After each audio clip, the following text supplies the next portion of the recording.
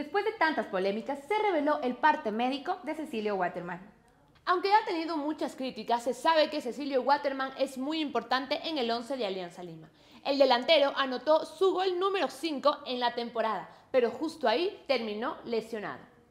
Tuvo que salir en camilla y se esperaba lo peor. Lo terminaron evaluando en el club y hay una respuesta de parte de la institución. Lo hicieron público. Según lo informado por el club, el delantero sufre una lesión muscular en el muslo posterior izquierdo. Aunque no especifican el tiempo de demora de recuperarse, ya comenta que el 30 se encuentra realizando trabajos de rehabilitación bajo el cuidado y supervisión del área médica del club. Ojalá no se demore más de la cuenta. Con esta baja habrá que ver qué jugador será el elegido para reemplazar al panameño. Al que le toque debe saber que debe jugarse su final porque es importante buscar la manera de ganarle al Colo Colo en Chile.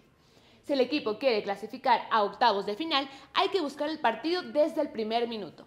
Restrepo seguro ya se los dejó muy claro. Yo soy Cari. Y yo soy Pami. Y si te gustan más videos como estos, déjanos, en los comentarios.